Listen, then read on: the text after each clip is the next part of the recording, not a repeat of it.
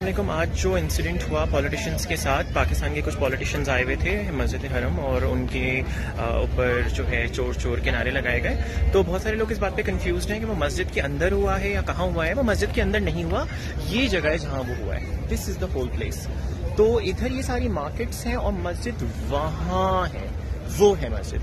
तो ये इतनी बड़ी बीच की जो जगह है, ये यहाँ पर लोग चप्पल पहन के चलते हैं। देखिए आप, मैंने भी चप्पलें पहनी है। यहाँ लोग चप्पल पहन के चलते हैं, आप देख होंगे।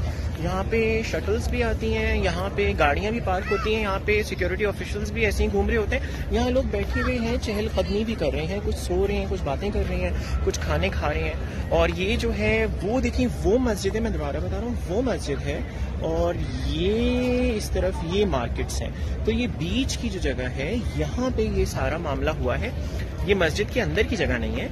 ये कंपाउंड है एक जो कनेक्टिंग एरिया है between the mosque and the markets तो किसी ने मस्जिद का तकदस पामाल नहीं किया है। जब वो पॉलिटिशियंस अंदर गए हैं नमाज़ पढ़ने के लिए तो किसी ने हुट नहीं किया, किसी ने उस पर कुछ नहीं बोला।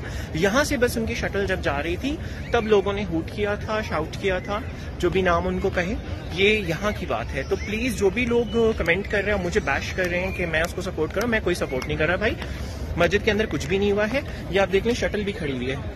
ये देख रहे हैं आप, वो खड़ी हुई शटल सही है ना? तो ये मस्जिद के अंदर का एरिया नहीं है। मस्जिद के अंदर जो है, पाँव में चप्पल पहन के जाना अलाउड नहीं है। मस्जिद के अंदर शटल ले जाना अलाउड नहीं है।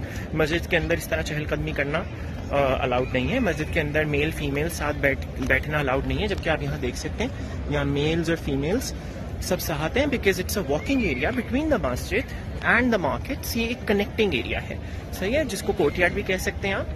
तो कोई फतवे वगैरह लगाने से पहले ना जरा दिमाग से सोचा करेंगे आप क्या कर रहे हैं। और दूसरी बात, जो लोग मुझे कह रहे हैं कि आप इबादत के लिए गए हो तो आप ये सब कुछ क्यों कर रहे हो? मेरे भाई, मैं वैसे सफ़र पे हूँ तो मेरे ऊपर कसर नमाज़ आती है। सही है?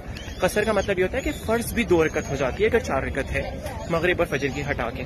तो मेरे ऊपर सिर्फ़ नफिल इबादत है और कसर है, लेकिन हम पूरी नमाजें पढ़े, अल्लाह का शुक्र है। उसके बाद जो टाइम बचता है तो हम उसमें ये व्लॉगिंग वगैरह करते हैं। और इसका जो है सिर्फ़ मकसद ये होता है कि मैं चाहता हूँ कि जिस तरह मैं आया हूँ मदीना शरीफ, मैं